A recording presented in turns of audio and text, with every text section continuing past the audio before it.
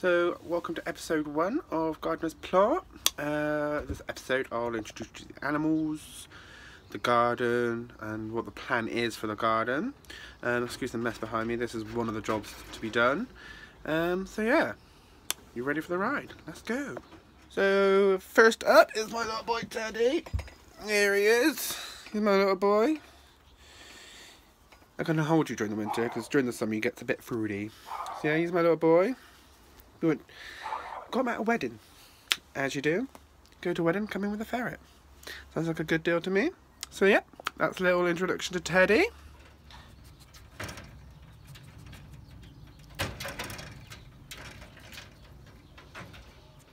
So as we leave the shed, this we come into the wildlife garden. This was all actually just a lawn when we moved in.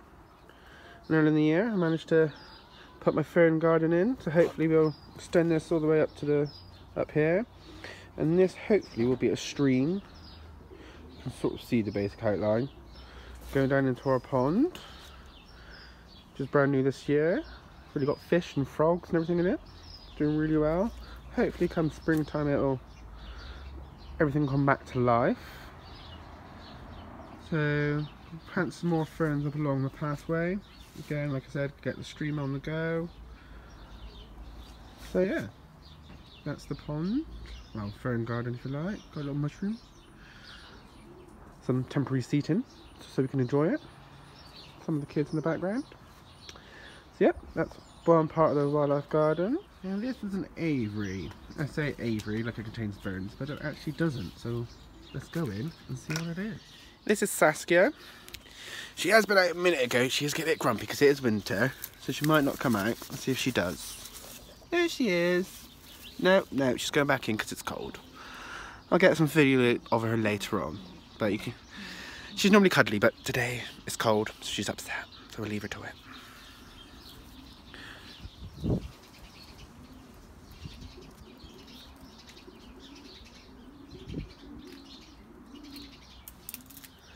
So during the winter obviously everything dies back so but there's plans to have lots of other sort of forest plants in here, sort of snowdrops and bluebells and things like that. Also along the border hopefully there's some wild garlic will come up soon so that will spread. So here's a pond. It's not doing too badly so it was like I said like a little lawn. Still a bit of work to do. But that'll come in later on. Doesn't look like much now, but this will be a wild meadow. Yeah. This is the border wild for lots of wild plants, native, and to encourage bees and butterflies and things like that. You can really see some of the things sprouting out through. This rock in the back of the garden just to sort of split it up. Nice big secure fence to stop these little delightful children getting through. Here's the veg plot.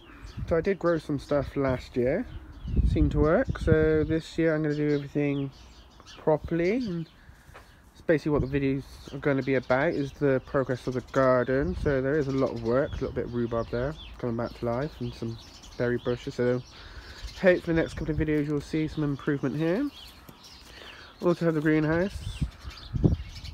Yeah, it's very uh, hopefully I'll be sorting this out this weekend. So hopefully next video will be a bit more organised and I've got some plastic greenhouses to go inside so replacing the glass as you can see it's very open Alright, this is down to the other part of the garden, our lovely lawn. We've been trying to save all the rainwater, so we'll put that to use next year when we start needing to water in plants and things, always recycle.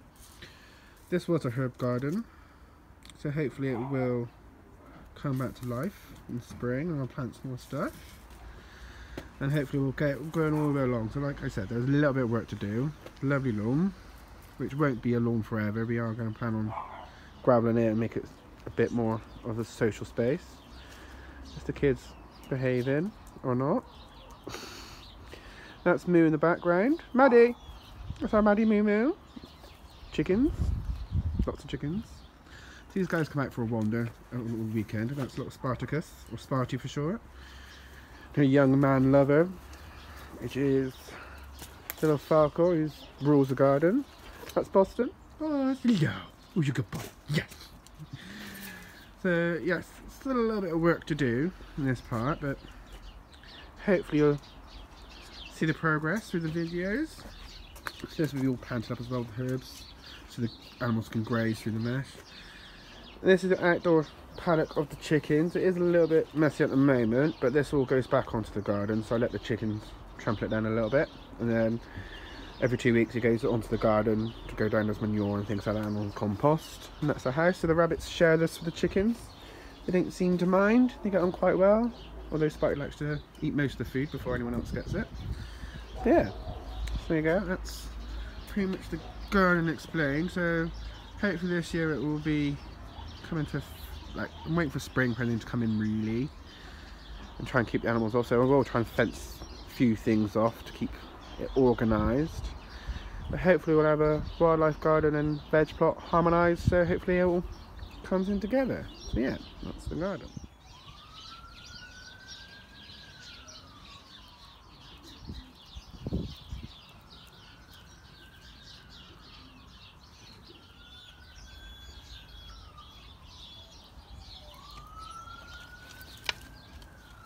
Yeah, episode one done. That's what I mean. Um, Trout window, no, Maddie. That's the kids. Alright, hello, hello.